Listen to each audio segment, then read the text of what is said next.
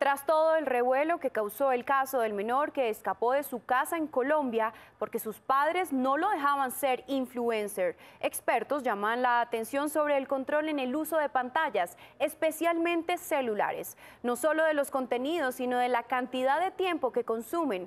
No recomiendan dejar celulares a niños tan pequeños.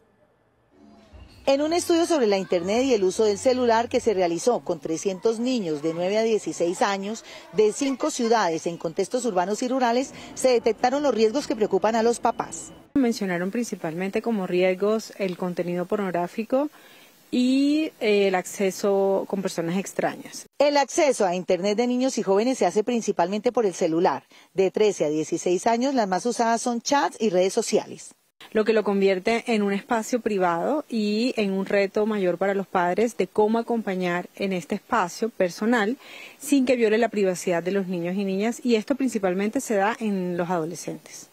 El estudio habla de las oportunidades que también adquiere el niño, como hacer sus tareas. En la mayoría desean crear un canal de YouTube, pero sus padres los restringen por la edad.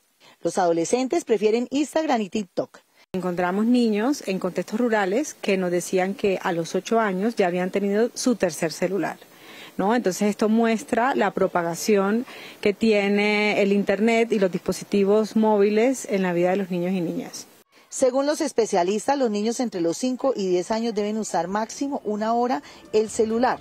Solo hasta los 14 años podrían permitirles tener un celular propio.